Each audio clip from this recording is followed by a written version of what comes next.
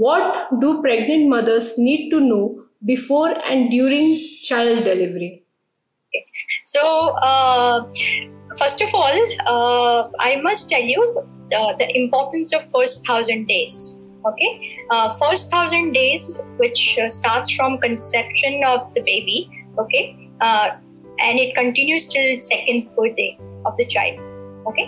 Uh, the reason this particular first thousand days is very very important because the maximum uh, amount of growth occurs in first thousand days okay? So growth includes your height like height of a child okay? And also brain development okay? So those two things are very very important in child's uh, growth and development because if you don't have good height uh, because of poor nutrition and if you don't have poor uh, uh, I mean, if you have poor nutrition, then it will affect your uh, mental IQ also, brain IQ, right? So that's why it is very, very important, and specifically, it is important uh, during pregnancy and first one year of life. Okay, so pregnant mothers have to be very, very vigilant about her own nutrition, you know, her mental health, her physical health, you know, exercise, uh, understanding how babies uh, breastfeed so, and uh, what are the options of uh, feeding the child? Okay, and then uh, what happens uh, during delivery and what happens post delivery. So, these are important points that mothers need to understand. Uh, very, very important is the nutrition because imagine the baby is being formed right in the womb and uh, she needs to understand that what all nutrients that she needs to eat in the form of food which will which will not only make a baby's muscle mass it will, it will improve baby's growth. In a sense baby will be tall when baby is born. And then you want perfectly manufactured organs right? Because baby is being manufactured during this time you know in first nine months in the nine month of pregnancy right? So so uh, it, that uh, understanding of growth or understanding of nutrition starts from even before pregnancy actually okay? And once you conceive then you want to definitely improve your protein intake okay? And then other uh, nutrient like your uh, calcium intake uh, you know i'm talking about from food okay? Uh, food food through food. Uh, uh, you know, I'm talking about nutrition through food, and then also uh, folate, zinc, B12, choline. There are like about 40 nutrients, iron. You know, good fats, which is important for baby's growth, baby's brain actually. So, so that that is your uh, nutrition aspect.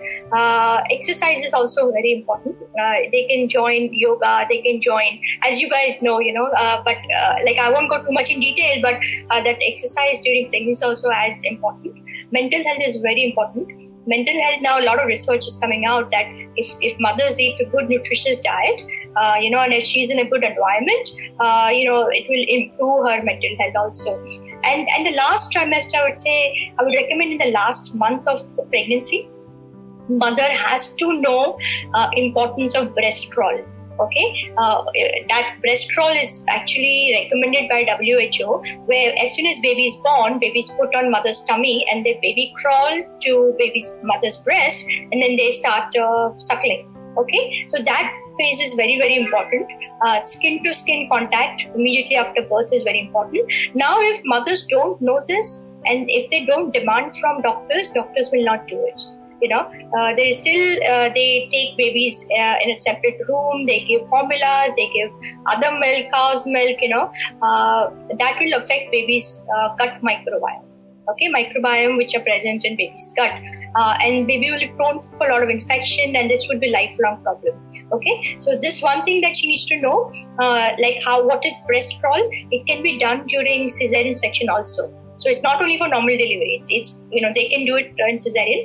And also another thing what she needs to know is uh, breastfeeding skills because what, what, most of the mothers are struggling with is proper skill during uh, immediately after birth. Okay, so uh, she needs to know. Uh, I prefer cross cradle hold because it has given amazing results.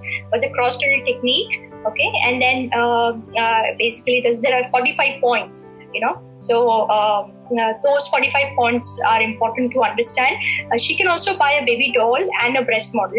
Then she can practice. Okay? So that way once baby, baby once baby comes out then she knows how to do it. Okay? But she will need support from nurses also. So it's important that she send this information to nurses also, so they can also learn. Okay, but it's only not only just mother need to learn this skill.